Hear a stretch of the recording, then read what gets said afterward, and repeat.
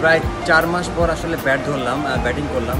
একটু different feelings খুব ভালো লাগছে আসলে কারণ বাসাতে যদিও বা আমরা ওয়ার্কআউট করেছি রানিং বা জিম করেছি বাট ব্যাট ব্যাটিং করার হ্যাবিট ছিল না।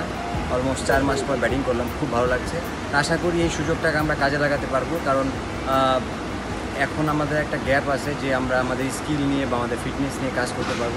তো আমার মনে হয় যে এটা খুব ভালো টাইম প্লেয়ারদের জন্য যদি আমরা আমাদের এই টাইমটাকে আমরা ভালোভাবে ইউটিলাইজ করতে পারি, আমার মনে হয় স্কিলের দিক দিয়ে এবং ফিটনেসের দিক দিয়ে আমরা আরেকটা স্টেপ আগায় যেতে পারব।